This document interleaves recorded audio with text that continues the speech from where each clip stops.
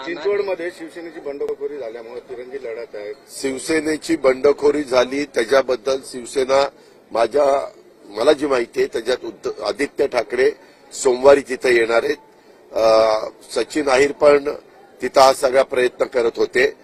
हे बंडखोरी करण्यामागचा सूत्रधार कोणतरी तिसराच दिसतोय.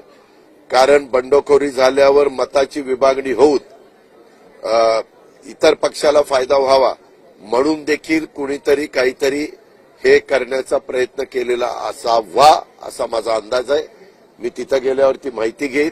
परंतु जरी कोणी केलेलं असलं तर स्वतः उद्धव ठाकरे साहेब आदित्य ठाकरे आणि शिवसेना हे स्पष्टपणे त्यांच्या मतदारांना आवाहन करतील विश्वास देतील की तिन्ही पक्षाचा आणि मित्रपक्षांचा मिळून महाविकास आघाडीचा उमेदवार नाना काटे आणि त्यांनाच मतदान करावं असं ते सांगतील असा मला ठाम विश्वास